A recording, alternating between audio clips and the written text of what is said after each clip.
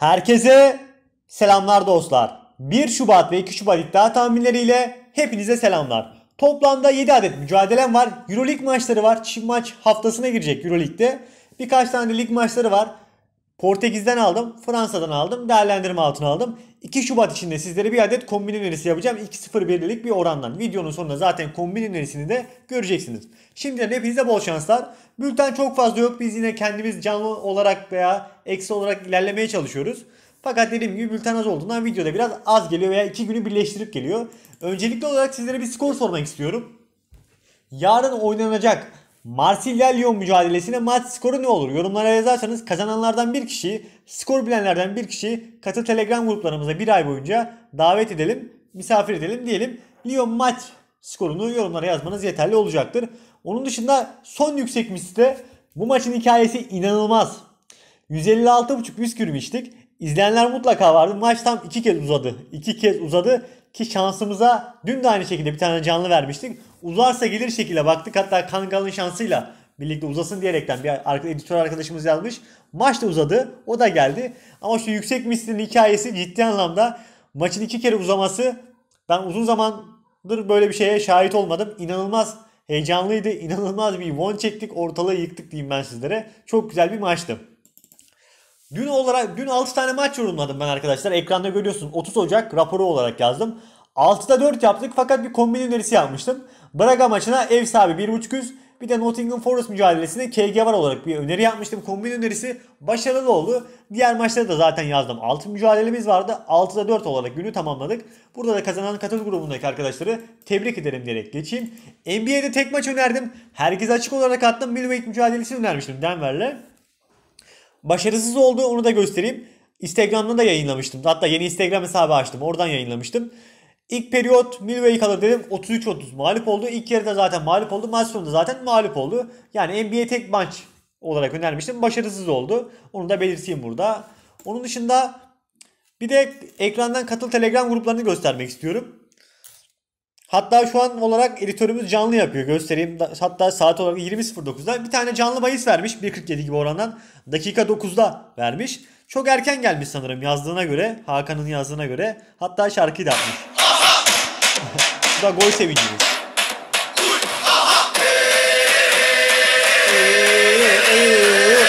Erken gelmiş hatta. İlk yarı 0.5 üst zaten direkt gelmiş. Hatta bir tane daha canlı vermiş. Şöyle onu da göstereyim sizlere.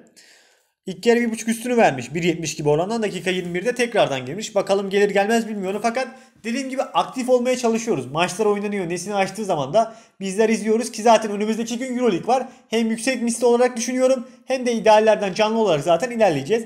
Eğer sizler de hem ayrıcalıklardan faydalanıp hem de kanala destek olmak istiyorsanız katıl butonuna dahil olabilirsiniz. Ana Telegram grubumuz canlı grubu olarak da değerlendirme altına alabilirsiniz. Telegram yüksek oran grubu hem canlı Telegram grubuna hem de e, yüksek oran grubuna dahil olabiliyorsunuz. Orada tek maç yüksek oranlar olarak ilerliyoruz.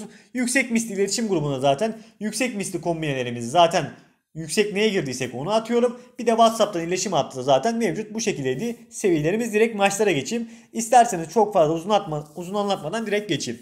Şimdi Avustralya ile Umman mücadelesi var. Biraz araştırdım. MBS 3 zaten en az 3 maç olarak oynanıyor bu mücadele. Avustralya'nın kadrosu benim tanıdığım isimler çok fazla. Ben Avustralya Ligi'ni geçen sezon özellikle çok fazla izledim. Bu sezon çok fazla erteleniyor. Mesela forvet hattında McLaren var. Melbourne City veya aynı şekilde Melbourne City'nin hücum hattından 2-3 tane isim var ve İskoçya takımlarından 2-3 tane isim var. Kaliteli ve formda olan oyuncular olduğundan dolayı biraz araştırdım. Umman'ın oyun yapısına baktım. Şöyle arkadaşlar. Forveti bile defans yapıyor. Öyle söyleyeyim. Çok kapalı olacaktır. Ben çok fazla gol beklemiyorum fakat Avustralya'nın ihtiyacı olduğundan dolayı deplasman yöneleceğim biraz. Umman'ın zaten bu saatten sonra bir amacı kalmadı. Japonya ile Suudi Arabistan maç yapacak. Avustralya bu maçta kaybetmez. Hatta kazanır diye düşünüyorum ben. 4.5 altında falan bir bahis açmadıklarından dolayı düz sizleri 1.43 gibi orandan maç sonu 2'yi önereceğim. Değerlendireceklere bol şanslar. Hızlıca geçiyorum. Lyon Marsilya mücadelesi. Maç 0-0 gösteriyor. İlk yarı 0-0 bitti. Artık nasıl bir olacaksa şimdi ben anlatayım biraz sizlere. Lig mücadelesi olarak gösteriyor zaten bu mücadeleyi. Lyon Marsilya mücadelesi. Maçın beklentisi arkadaşlar 1-1. Bakın maçın beklentisi 1-1 gibi bir skor. Ev sahibinde eksik isimler var mı? Var. Endombele mesela Lyon'da oynamayacak bu maçta. Fevre oynamayacak. Kart, kart var. Damian da Silva aynı şekilde eksik. Kadavere aynı şekilde zaten eksik diyor. Ekambi yok bildiğiniz üzere. Yani Lyon'da eksik isim çok fazla. Marsilya'ya baktığımız zaman da onlarda da eksik var. Gueye mesela yok. Bamba Dieng aynı şekilde yok. Cedric Bakan bu oynamayacak. Yaptığı Kolasinac bu maçta oynamayacak. Eksikler var yani. Ertelenen bir maç sanırım bu. Ondan dolayı böyle açık gösteriyor. Tekrarlanacak. Şimdi ben maçın beklentisini söyleyeyim size. Bahsettiğim gibi 1-1 gibi bir skor beklentisi var. Ben fakat şöyle bir tercih yapacağım. Bu maç 1-1'e gelebilir mi? Gelebilir. Fakat ben tek maç yüksek oran olarak mücadelenin 2-3 gol banda biteceğini düşünerekten de şöyle göstereyim. 1.80 gibi oranı var zaten 2-3 golün. Şimdi 1-1 olmaz. Biri atar. Tam o bir gol gelebilir ilk yarıdan. Benim kafamdaki senaryo ilk yarıdan bir gol gelir. İkinci gol karşı takım ablukaya, abluka kurmaya alacaktır. Abluka kurmaya çalışacaktır rakip takımı. Kim gol yediyse artık. Oradan ya 1-1'i yakalar ya da kontroldan 2'yi yer diye düşünüyorum. Ama 2-3 gol bandına kalmasını beklediğim maçlardan bir tanesi. Fenerbahçe Beko Asvel mücadelesi, Euroleague mücadelesi. Dün arkadaşlar Anadolu Efes ile Fenerbahçe maç yaptı. Anadolu Efes'in sahasındaydı. ING Basketbol Ligi'nde Türkiye Ligi'nin mücadelesiydi. O Euroleague değildi. Ee, Fenerbahçe güzel performans sergiledi. Guduric, Henry bu isimler güzel performans sergiledi. Maçta şöyle gözükmeyen bir isim Booker yoktu. Devin Booker mücadelede pek fazla gözükmedi. Yani o etkin olamadı. Veseli ile Dekolo'nun sakatlıkları devam ediyor zaten. Fenerbahçe'nin iki yıldızı da bu maçta olmayacak aynı şekilde. Hatta son Asvel maçlarında sakatlanmıştı sanırım. Ben Fenerbahçe'nin kendi evinde son maçta Anadolu Efes maçını da referans alaraktan da güzel bir hücum hattının olduğunu düşünüyorum. Yani takım biraz o yıldızlar olmadan da birbirleriyle güzel hücum yaptıklarını görebiliyoruz. Asfel'e baktığımız zaman da onlar da aynı şekilde Fenerbahçe'ye karşı hatta ilk maçta zaten onlar diye vermişti. Fenerbahçe de burada bir nevi rövanş almak isteyecektir. Ben burada Fenerbahçe'nin atacağı 79.5 üste değerlendirdim. Onun oranına baktırayım şöyle idealden göstereyim sizlere.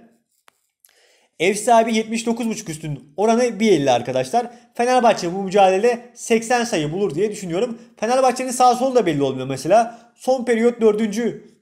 4. periyot mesela Anadolu Efes maçında 8 sayı attı yanlış hatırlamıyorsam. Yani bazen böyle bir anda tıkanabiliyor. Hücumda üretkenlik sağlayamıyor. Fakat kendi evinde taraftar önünde ben 80 sayı atmasını bekliyorum Fenerbahçe Beko'nun. Pana ile Monaco mücadelesi. Monaco'ya yeni teknik adam geldiğinden sonra Mike James'i de artık böyle onun da gönlünü aldı. Yani Mike James'in isteklerini doğrultusunda biraz ilerliyor. Yani o oyuncunun zaten egolu oyuncu derler mesela. Öyle bir oyuncu. Yani onun gönlünü yapacaksın. Onun da gönlünü yap, yapıyor gibi gözüküyor yani açıkçası. Ben burada Monaco tarafındayım. Monaco son Euroleague mücadelesine bahsedeyim sizlere biraz. Şuradan son Euroleague mücadelesinden bahsedeyim. Real Madrid'de oynadılar. Dediğim gibi zaten o maç iki kere uzadı. Biz üstünden kazandık. Gerçekten hücum yönünden ne yapmasını bilen takım. Real Madrid çok fazla savunma yaptı. Orada mesela çok fazla sayı atamadı Monaco takımı. Fakat Pana'nın savunmasının o kadar iyi olmadığını söyleyebilirim ben. Ben yine burada Monaco'nun atacağı sayılara yöneldim. Onun da oranı yine idealden önereceğim. Monaco deplasman 78.5 üst. Yani Monaco'nun burada atacağı 79 sayı benim için önemli. Dış atışlarında zaten takım iyi. Hatta Mike James'e biraz yöneliyor takım. Ona yöneldiğinde diğer oyuncular boşta kalıyor. Onlar da tamamlayabiliyor. O yüzden deplasman 79.5 hatta 78.5 üstü idealen 1.43 gibi orandan değerlendirme altına alabilirsiniz. Bol şanslar. 2 Şubat'a geçiyorum hemen. 2 Şubat'ta da 3 tane mücadelem var benim. Sporting mücadelesini aldım. Sporting hafta içinde onlar da 2 gün önce Benfica ile Lig Kupası finali oynadı. Maç 1'den 2 oldu. İlk kere Benfica 1-0 öne geçti. İkinci yarı Sporting çevirdi ki zaten Sporting tam kadro olarak sahadaydı. Yine bu maçta da tam kadro olarak sahada olacak. Çok bir eksiği gözükmüyor yani. Sadece e, Sebastian Coates Afrika Kupası'na gitmiş. Onun dışında bir eksikliği yok Sporting'in. Sakatı da yok tam kadro. Porto dün galip geldi 2-1 gibi onu da değerlendirme altına almıştık zaten. Puan farkı açılıyor. Ligdeki son 3 maçında 2 tane mağlubiyet alan bir Sporting takımı var ve karşılarında zayıf bir Belenenses var. Şimdi bunlar ev sahibinin dizilişine baktığım zaman 3-5-2 oynuyor. O yeri geldiği zaman da böyle Sporting gibi takımlara karşı kendi evinde de 5 defans oynayıp kontraya çıkacaklar. Burada ablukaya alacak takım Sporting'dir. Sporting'in galibiyetini bekliyorum. Fakat şöyle bir değerlendirme altına aldım. Sporting'in deplasman maçlarına baktığımız zaman da 2-0'ı yakaladıktan sonra skoru koruyan bir Sporting takımı oluyor. O yüzden deplasman e, maç sonu 2 ve 4.5 alt şeklinde değerlendirme altına aldım. 1.38 gibi orandan kombineme de koydum Sporting mücadelesini. Diğer maçım Anadolu Efes CSK mücadelesi. Güzel bir maç bizleri bekliyor açıkçası. Anadolu Efes son maçını zaten iki, dün oynadı Fenerbahçe ile ilgili. Larkin'de bir sakatlığı vardı. Fenerbahçe maçında oynadı. Yine bir ayakla bir sekme oluyordu. Fakat bu maçta da muhtemelen oynayacaktı Larkin. Larkin ciddi anlamda çok önemli. Geçen maçta dış atışlar yüzdesi çok çok yüksek kaldı. Hatta en sondan baktığımda 12 atışın 8 tanesi isabetliydi maç genelinde. Yani isabet yüzdesini yükseltmişti ki zaten bir ara Misic, Burak'ın bir de e, bir kişi daha vardı. Bunlar ardarda arda sürekli 3 sayı atışı yaptı ve hepsinde isabet sağladı. Yani dış atışlarını biraz daha düzeltti gibi. Son maçlarında baktığım zaman Euroleague'de düşüşteydi. Zenit maçında böyle çok fazla isabet sağlayamayan bir Anadolu Efes vardı. Fakat son maçında bana umut verdi. CSK da kendi evinde iyi bir rakip. Anadolu Efes'e karşı ben mücadelenin üste gidebileceğini düşünüyorum. O yüzden 157.5 üstün oranı 1.50 gibi oranı var. Üste gidecektir. Değerlendirme altına alacaklar. Alabilir. Ben bunu kombineme almadım bu sefer. Normalde Anadolu Efes her zaman kombinemi alırım. Fakat bu maçı almadım. Fakat ben üste gitmesini de bekliyorum. 157.5 üst 1.50 gibi oranından idealdir. Fener Real Madrid'le Olympiakos mücadelesi. Şimdi Real Madrid'e baktığımız zaman da hafta içinde yani dünden önce olması, dün veya dün olması lazım. Andorra ile bir maç oynadı. Kendi evinde mağlup oldu 83-80. Lig mücadelesiydi Real Madrid'in. Sanırım böyle olması lazım. Fakat şöyle maçta kimden oynamış diye baktığım zaman da mesela Yabusele 5 dakika oynamış sadece. Real Madrid yani tam kadrosunu sürmemiş. Burada çift maç haftasında Real Madrid'in hata yapmasını beklemiyorum ki zaten evinde 11'de 11. Yanlış olmasın şuradan da bakayım.